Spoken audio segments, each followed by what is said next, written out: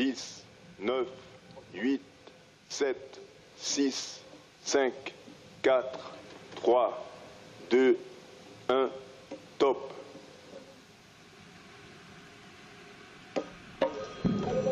Allumage du Vulcain.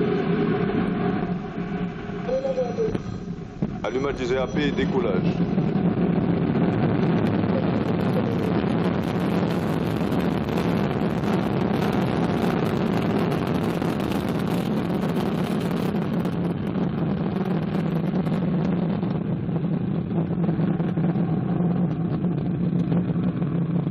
Paramètres bord sont normaux, la propulsion est nominale. de la manœuvre en roulis.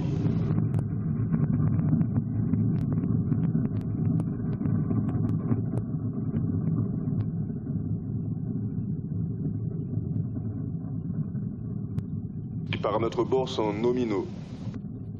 So at 16:30 local time and right on time, Ariane 5 began her mission lifting off from the ground here in French Guiana with a lot of fire and with two new satellites rising into the bright blue sky. Wonderful pictures, trailing exhaust flames of gold. The two boosters providing 90, that's 90% of our thrust right now, propelling the launcher along her trajectory at an ever higher velocity. 775 tons at liftoff, hard to believe. But to get that sort of mass off the ground, you need a lot of push. And push we have. Push you can see there. She's burning five tons of fuel every second. Two and a half tons are burning every second in each of the boosters. Plus, the core stage, the middle stage, burning another 300 kilos of fuel every second.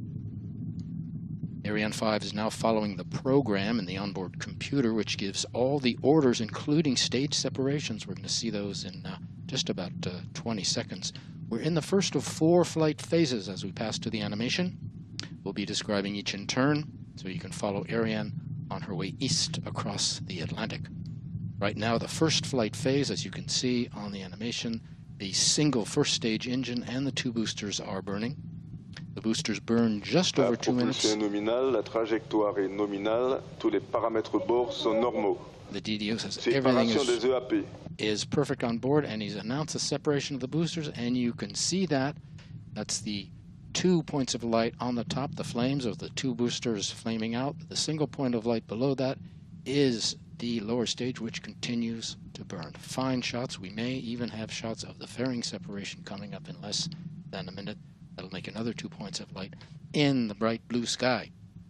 The single first stage in- engine is burning now. Taken over from the uh, boosters. The boosters will La fall. Uh, propulsion est nominale, la trajectoire est nominale, tous les paramètres bord sont normaux. DDO says everything is nominal on board. The boosters fall 500 kilometers from shore into a protected area. Look on your screen on the bottom, our altitude 104 kilometers. On the right, our speed 2.27 kilometers per second. The speed we need to inject the satellites roughly 8 or 9 Séparation kilometers per second as we've separated the fairing. There are actually two halves. There's another half on the uh, starboard side of the vehicle, which is out of camera range. We can separate the fairing now because we're out of the dense layers of the atmosphere. Over 100 kilometers up, there's neither friction nor heating, which could disturb the passengers. We could also, we can also now discard any dead weight to maximize the launcher's performance, and the fairing weighs two and a half tons. La So trajectoire we- est nominale, tous les paramètres bord sont normaux. so we can get rid of it now. So all is fine on board, coming up on four minutes on after a liftoff of the seventh Ariane.